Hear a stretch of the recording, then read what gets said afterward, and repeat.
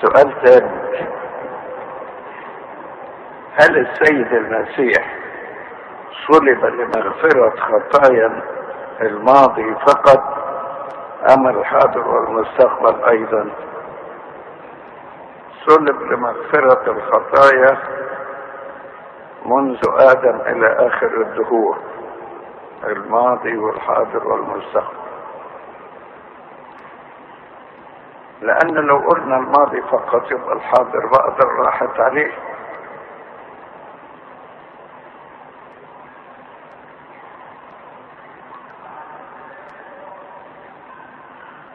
بس يشترط في كل ده الإيمان والتقوى.